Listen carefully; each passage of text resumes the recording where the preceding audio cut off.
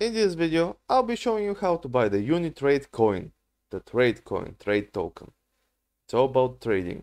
So, go to CoinMarketCap, find Unitrade, the unicorn coin, and see where the contract is. Copy it. It's on the Ethereum network, so I'll head over to Uniswap, a unicorn on a unicorn, I guess. You must be on the Ethereum network, like we are currently click select token, paste the address that we just copied, and there it is. Trade, Unitrade, import. Click that you understand the risks. And that's it. Now all we have to do is have some Ethereum to convert into trade. Hope this helped. See you next time. Happy trading.